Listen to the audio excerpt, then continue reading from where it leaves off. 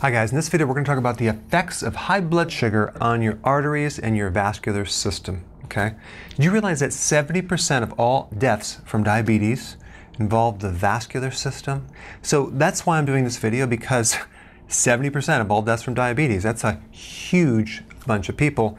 So why not talk about this specific thing?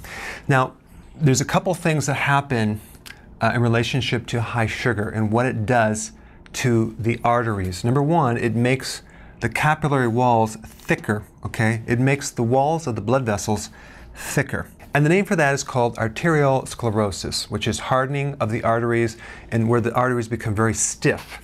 So you're also going to see high blood pressure because there's no elasticity anymore, and you're going to see edema in the ankles and the feet. So if you were to press on the foot, it leaves a dent. It's called pitting edema because the loss of this capillary function.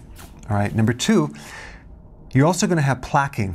And plaquing is the end result of damage within the arteries where the body starts accumulating cholesterol deposits, protein, and calcium as a band aid to heal the area. But it forms a plaque, and that is called atherosclerosis, okay, which blocks the coronary artery of the heart, and it's going to cause chest pain it's called angina. And diabetics are four times more likely to develop this simply because high blood sugars, and that's what a diabetic is. They have high blood sugars. That's why they have to take medication.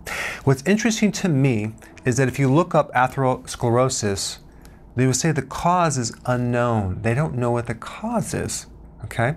But there's risk factors of diabetes and obesity and smoking and things like that. Well, I'm going to show you my favorite book here called CIBA, Encyclopedia of Endocrinology, Volume 4. And uh, on page 164, uh, they have different pages that describe different aspects of insulin. And the one I want to talk about is called diabetic microangiopathy. Okay, so let's see what Frank Netter says about this.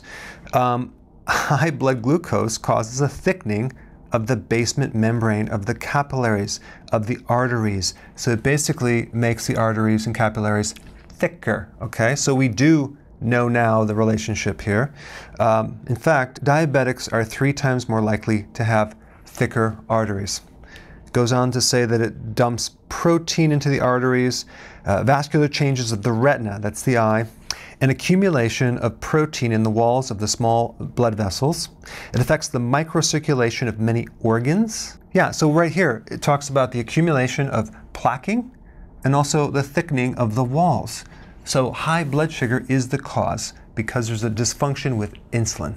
So the best thing to do is if you're a diabetic, make sure that you do everything you can to bring these sugars down naturally and improve the underlying cause of this, which is high levels of insulin that then lose their function and then can't control it anymore, okay? I put a link down below of some great information on what to eat to support healthy blood sugars. Check it out. Hey, if you're interested in finding out the underlying cause of your body issues, click the link below and take the evaluation quiz.